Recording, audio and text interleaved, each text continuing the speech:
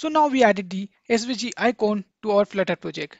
Now it's time to make this all the custom card dynamically. Right now I added two instances of the custom card in the chat page, but I wanted to make this thing more dynamically. I wanted to make this icon change more dynamically. For that, I'm going to create a list. And what will be the list? For the list, I'm going to generate some kind of data. And uh, for that, let me create a new folder inside the lib folder. That will be a model. And the first model of this will be chat model dot dart. Inside the chat model dot dart, I'm going to create a class chat model. And here we are going to define some of the parameter we are going to use here. The first parameter will be a string type, which will be a name. Second parameter will be string type, which will be a icon. Which kind of icon we have to use like group icon or the individual person icon. Then a bool parameter is group which mean it is a group chat or it is an individual chat. Then a string of time. After then a string of current message. These are the parameters we had to use over here. Then I'm just going to use the constructor to initialize all these things this dot name this dot icon this dot is group this dot time and this dot current message. All the things are initialized as of now. Then I'm going to create a list of this chat model inside the chat page here. So list of chat model chats. Here I have to provide the, all the instances. So let me create five instances. So to create an instance, we have to use the same chat model object and here we have to provide all the parameter. Name obviously first name will be Dev Stack. Then is group? No it's not a group so it's mean a false. Then uh, current message. Hi everyone time maybe 4 and the last one is the icon.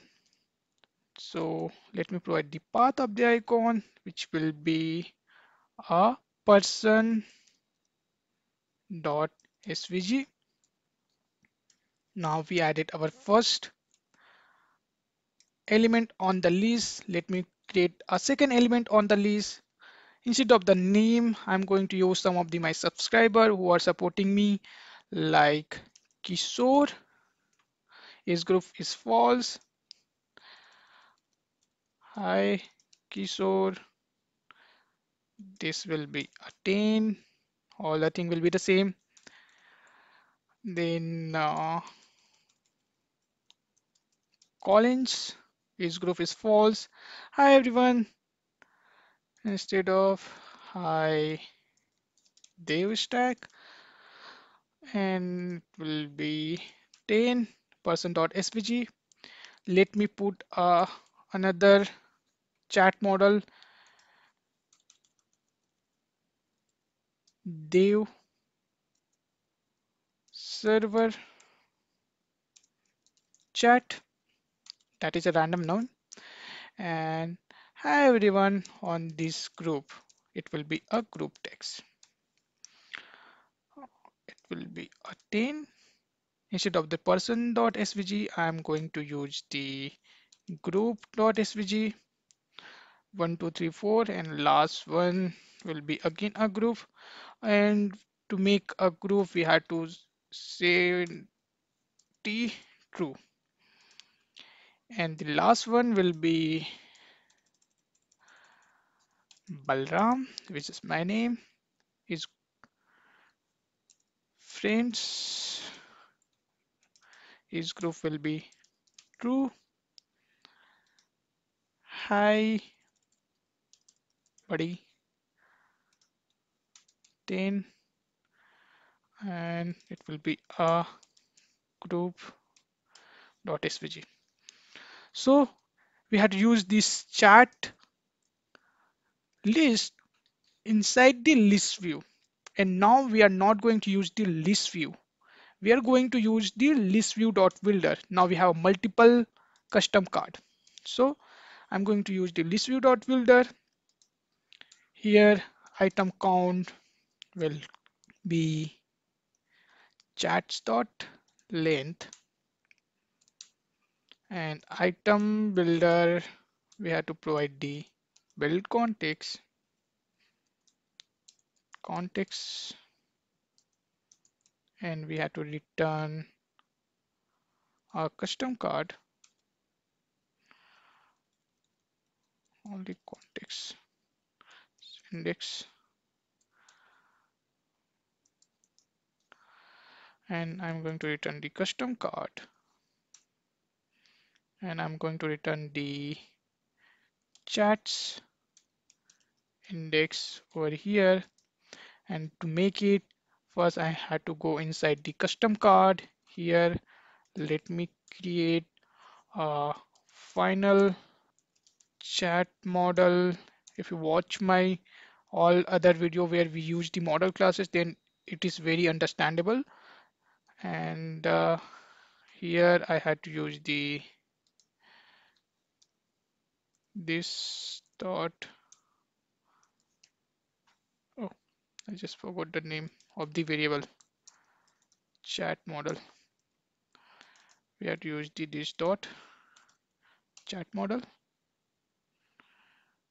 And it's saying that all the variable must be initialized but chat model try adding initialize for the field. Okay instead of here I'm just going to use it over here only and I'm going to hit the save. I'm going to go here and I'm going to hit the save. It's giving the error because because because. Let me fix the error. I had to use the chat model. Then only we had to give it. Okay now we added successfully. Now we add, we got the five element. One two three four five. But all are static as of now how we can make it dynamic we are getting all the data inside the chat model. So let's get the chat model data with help of this chat model instance. Let me first change the name instead of the dev stack. I'm going to use the chat model.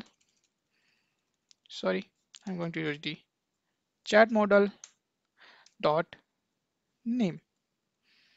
If I will hit the save, then all the name will be changed over here you can see Davis Stack, Kishore, Davis Stack, server chat, Collins, Balram's friend. All the things are changed.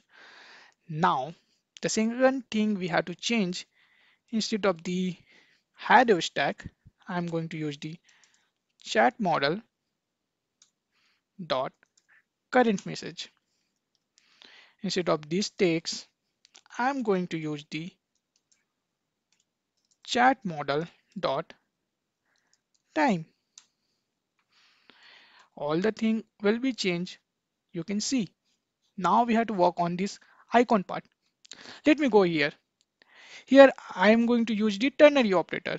I'm going to use the is group not here. I'm going to use the chat model dot is group.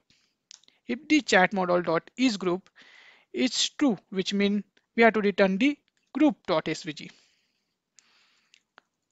otherwise we had to use the